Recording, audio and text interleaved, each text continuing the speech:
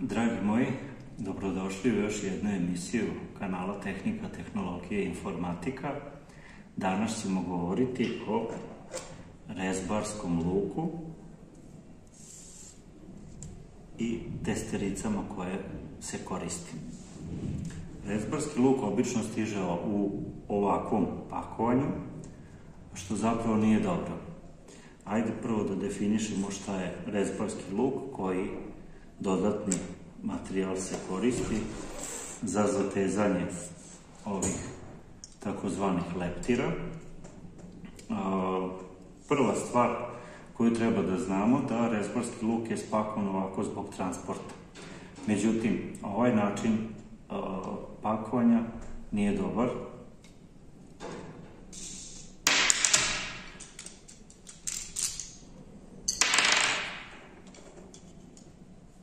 Ovako bi trebalo da izgleda spakovan u potpunosti rezbarski luk, međutim, glava od ovih torban šarafa, kako se kažu šarafi, nisu šarafi, nego su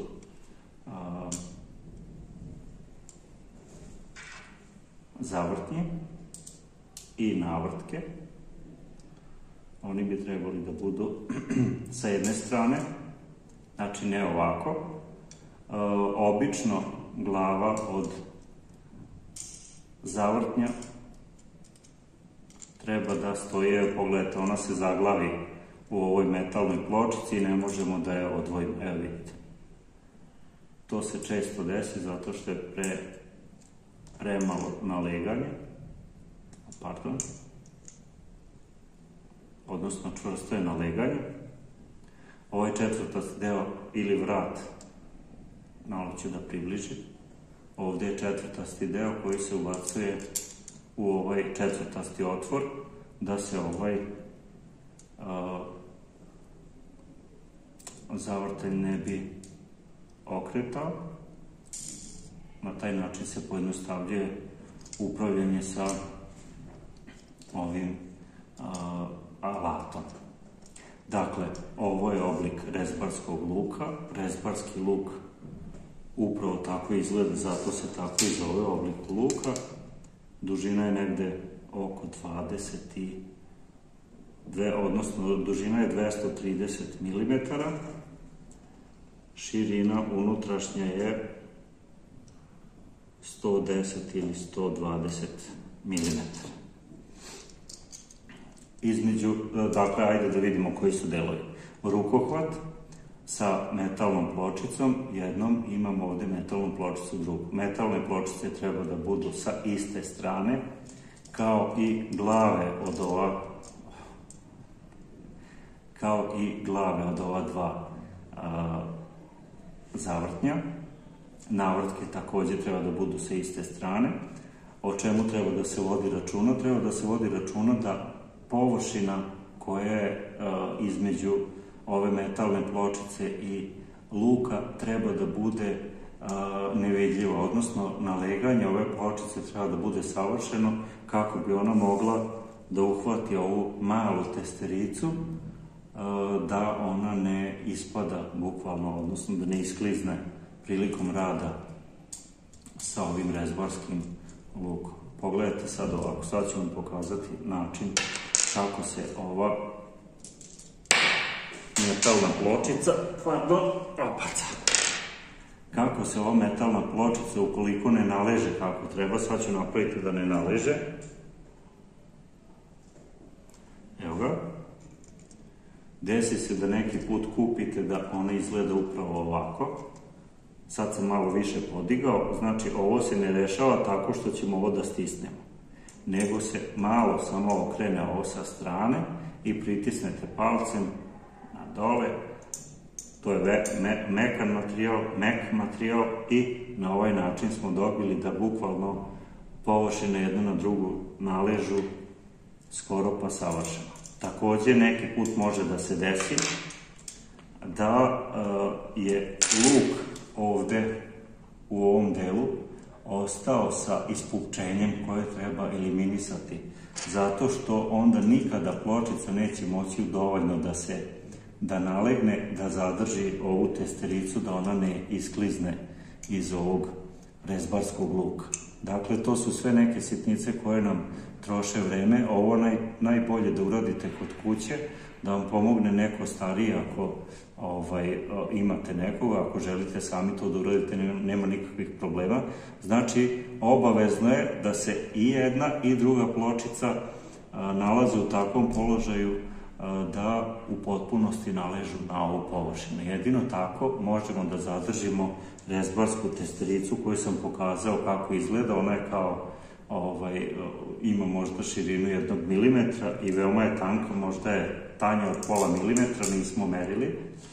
Ovaj, zatim, ono što sam rekao, njeno postavljanje u između rezbarskog luka i ovih pločica je veoma, veoma posebno. Evo sad ćemo da vidimo kako se to radi.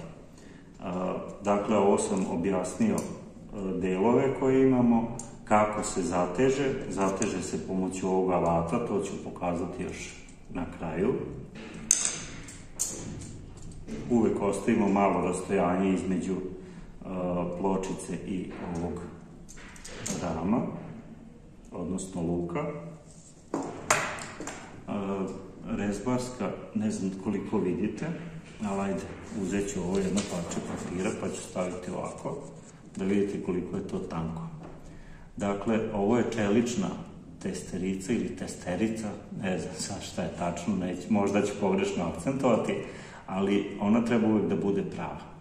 U slučaju da dođe do, pošto je urađena čelika, u slučaju da dođe do nekog naglog savijanja i da ima jedan uh, ugao koji se pojavljuje ili više uglova koji se pojavljuje ovde, da ne kažem kao da je savijena na nekom mestu slučajno ili namerno, u momentu kada se zategne, pošto je urađena od čelika i kaljena je, ova testerica će pući.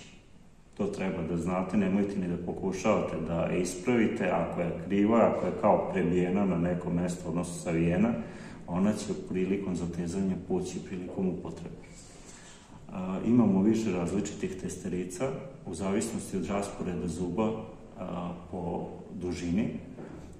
Ukoliko su gusto raspoređeni zubi, ta testerica je namenjena za sečenje metala. Ako su gusto, ako ima mnogo zuba na, na nekoj dužini i sitni su, ona je namenjena za sečenje metala.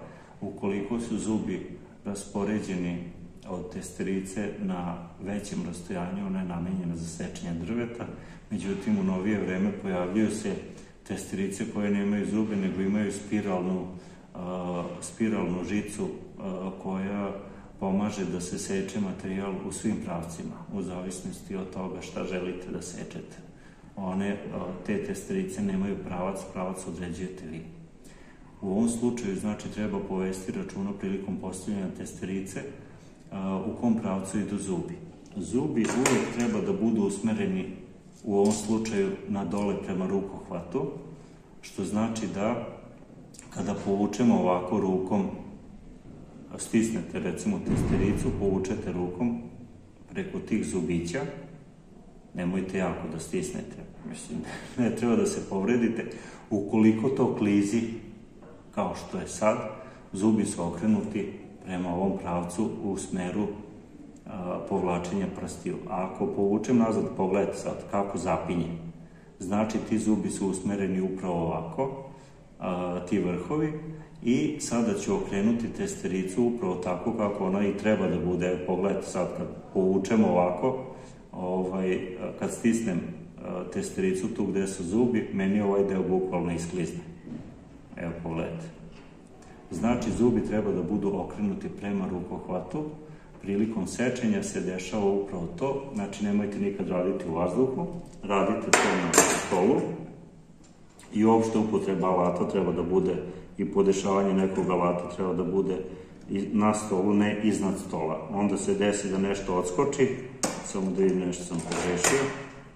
Dobro.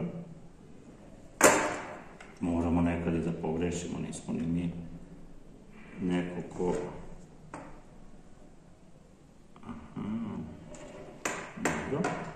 Dakle, prva stvar koja se radi u ovom slučaju je učvršćivanje testerice kod rukohvata, to je prvo što moramo da uradimo, pokazat ću vam i zbog čega je tako.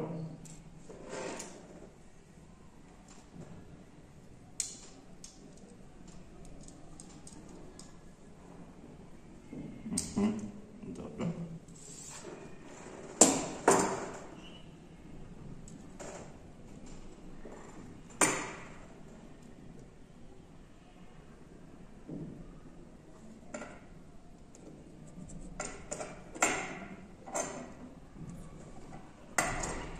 Dakle, evo ga, ovo sad podižem da vidite kako se radi.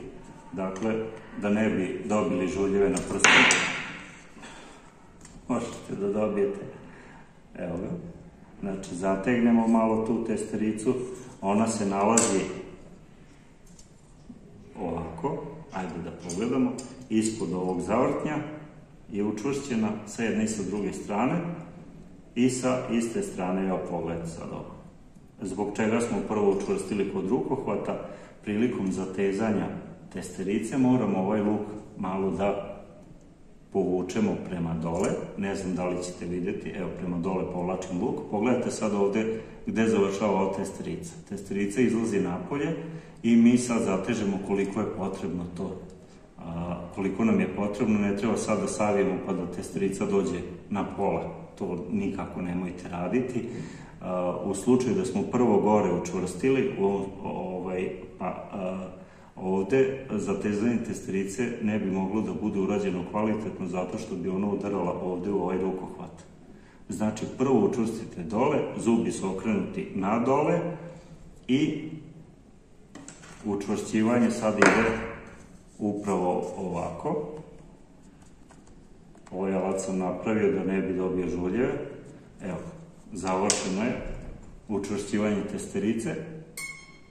Čuli smo i zvuk.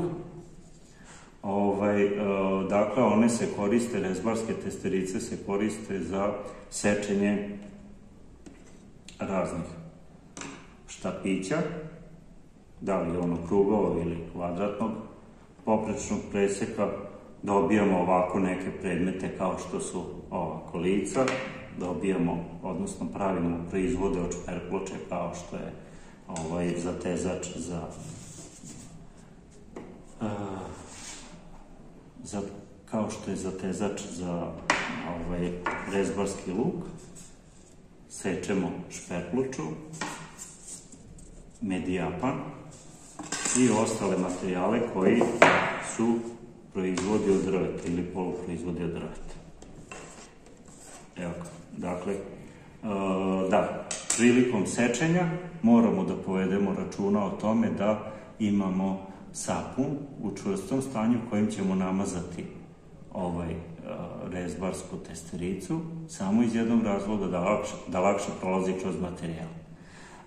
Kada nacrtamo e, sve delove, odnosno sve pozicije koje treba da isečemo, pronađite neki prazan prostor na materijalu koji treba da se seče, nacrtajte neku malu sličicu i pokušajte da isečete. Ukoliko se desi da recimo imamo paralelno povučeno kraj časa, dobro, morat ću da prekinem sa snimanjem emisije, ali evo da završim samo za kratko. Dakle, namazali smo to jest nekoliko puta ste sa strane uh, namazali rezbarsku testericu sa uh, sapunom da lakše prolazi kroz materijal, zbog čega sapun, zbog čega ne ulje, a radimo sa drvetom. Ukoliko stavimo neko ulje, uh, onda ćemo da nauljimo ovaj deo, da ne kažem da umastimo i na taj način ćemo biti u problemu kasnije kad to bude trebalo da se farba Dakle, po završetku rada sa rezbarskom testericom uvek se otpusti jedna strana da testerica bude u ovom opuštenom stanju, da se ne isteže. I samo da završim još sa ovim, da poentiram, ukoliko treba ono što sam rekao, da se iseče nešto, nacrtajte malu sličicu i secite i vidjet ćete u kom pravcu testerica ide. Ako ste povukli paralelnu liniju sa ovom ivicom i hoćete da isečete, a ona vam ide ukoso, onda je potrebno testericu malo okrenuti u stranu. veoma važno je da se sečenje obavlja na stolu, materijal se nalazi na stolu, ako smo desnoruki pritisnemo materijal levom rukom ili nekim stegama koje imamo, sečenje se vrši upravo ovako, znači ne ovako pod uglom, nego paralelno sa podlakticom, samo se radi u laktu,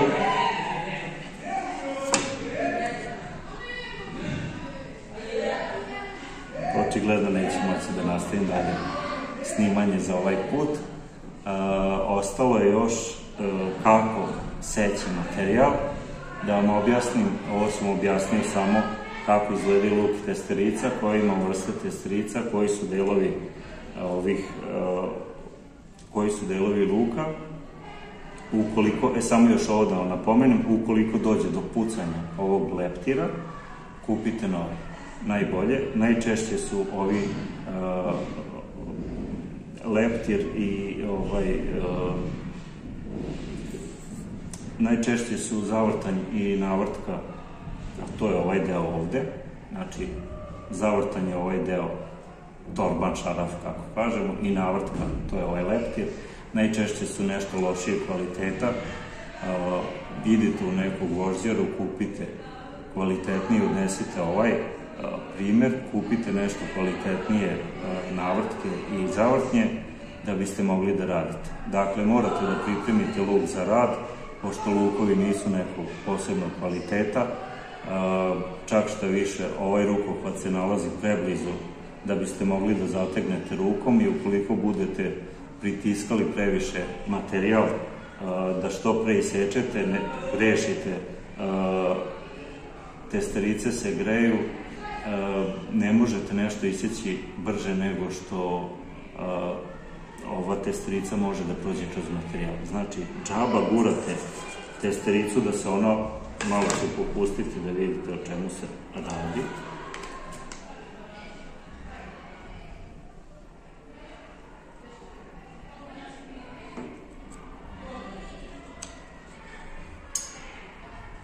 Popustit ću samo da, da prikažem šta se često dešava. Prilikom sečenja kroz materijal često se desi da, da se ovako nešto dešava. To je, često se desi da se na ovaj način seče, to nije dobro, znači testerica treba da bude ravna, što ravnija, ruka što opuštenija, vežbajte pre nego što počnete da sečete određene pozicije, vežbajte na materijalu koji će vam biti višak. Dakle, da biste mogli da radite obavezno morate imati više ovih rezervnih testerica. Vidjet ćete već po kvalitetu da one odstupaju.